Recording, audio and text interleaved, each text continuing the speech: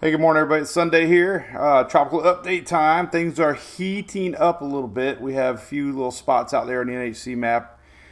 Everybody's uh, getting a little little anxious here as we enter September this week in Labor Day. Um, new update just came out at 8 o'clock this morning, and really the only thing to watch it now is this one right here. This is Invest 91.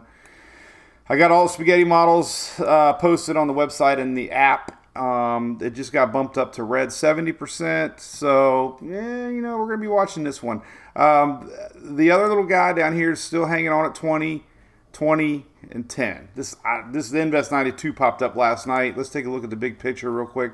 Uh, not sure uh, influence wise what it's going to do, but uh, this is 91. This is 92. Uh, and then we got, you know, low chance here that GFS has been showing. And then, of course, this is definitely down the road stuff. But uh, this is 91. This is what we're going to focus on. And we'll see. Um, you know, long range steering currents are always hard to uh, pinpoint. And uh, the main the main thing that we're watching right now is the fact that we do have a general motion west northwest. Uh, here's the latest that just came out. These are your Southwest Florida water management sites, and uh, we of course have tropical tidbits also. The euro is this orange line here, and it's actually uh, you know trended a little bit more towards Bahamas and uh, Florida. So. Uh, you know, it's so early in the game to get too worked up on anything except we know tropics, September, anything in the Western Atlantic needs to be watched close. Um, so we will be. It's nearing um, late, like I said, it's nearing Labor Day weekend. Some of your latest models, let me show you real quick. So I have to show you the GFS. As you know, we've been talking about the GFS all season long. GFS has been uh, horrendous, terrible. it's been spitting out hurricanes left and right. But I, I, do need to show it's been very consistent on this one coming up here through the uh, Caribbean. This is Tropical Tidbits, by the way, dot com. Uh, so I got to put it out there. It's really the only model showing it. Uh, even some of the GFS ensembles aren't showing much down there. But just keep one eye open on it. You know, uh, Western Gulf of Mexico. It's the only model showing it.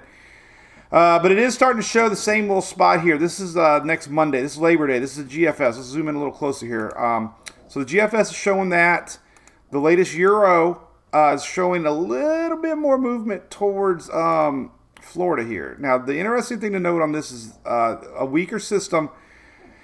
Uh, you know, showing up, the uh, it's all going to come down to upper level steering currents. Uh, that you know, ten days out, like I mentioned, it's very hard to um, predict uh, any of that this far out. But you know, yesterday we were showing a, a, a strong high pressure system that was brewing here, and, and, overnight models aren't really showing it. So it's just really hard to predict long range steering currents right now. Maybe within a week we can see that. But as far as uh, the latest Euro, you know, low pressure. Anytime you get a low pressure, you got to watch it. I mean, at this point, you're just looking at little seeds. You know, uh, and you know, don't really focus on intensity right now. We just know things can happen fast. Um, but there's the latest Euro showing this timing here is next Monday, Labor Day. Keep an eye on that. The uh, latest Canadian model showing, uh, again, another system. And, you know, it kind of gets it going. Then we have a recurve possibly showing. Uh, the latest icon is almost similar. Uh, so there you go. Um, again, very low confidence in the Gulf. But just take note, the GFS keeps showing it. Uh, but as far as the other four models that we use, that I use a lot, Icon, Euro, CMC, and GFS, are all showing something nearing the Bahamas, and maybe the southeast. Uh, too far to be certain, but definitely want to keep an eye on the tropics this week as we uh, enter into Labor Day weekend. So, hey, don't get wrapped up in, in, in, individual model runs this far out. Just be aware, you know, hey, we got something cooking. Um, you're going to see a lot of windshield wiping effects. You're going to see some maybe go more towards the southeast Florida. Then the next run, you might see one curve up to the Atlantic you know, this windshield wiper flip flopping around is normal. Just the general, you know, motion that we're looking at is west northwest.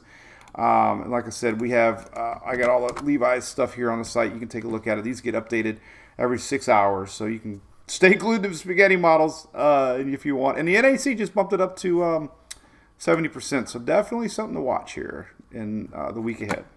So I'll be on it. We'll be on the Daily Brew every day, maybe every night tomorrow for sure. Uh, Monday morning, maybe one tonight. We'll see. Maybe uh, we'll we'll surprise everybody tonight with a live update. Maybe around five o'clock. Five o'clock somewhere. All right. Have a great Sunday. Cheers. Bye bye.